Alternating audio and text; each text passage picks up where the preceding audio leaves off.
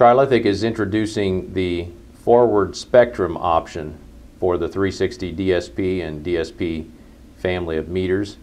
It's on the troubleshoot menu in the spectrum analyzer icon. Normally I'd be viewing the return spectrum.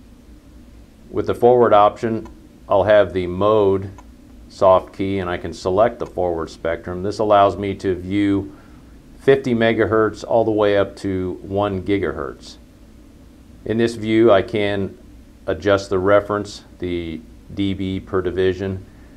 I can start and stop it at specific frequencies. The resolution bandwidth auto adjusts.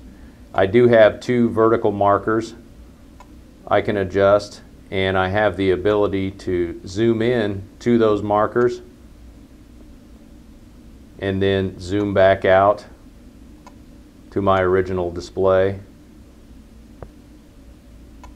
I can also expand the spectrum to the full forward uh, section of my plant from 50 megahertz to 1 gigahertz.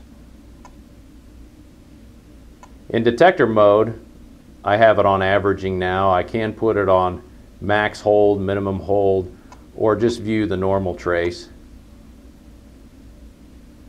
Averaging is a good mode to look for overall in-channel flatness. It's another option that uh, you have available. It gives you some more tools to help troubleshoot potential issues in the forward spectrum of, a, of the plant as opposed to the return spectrum.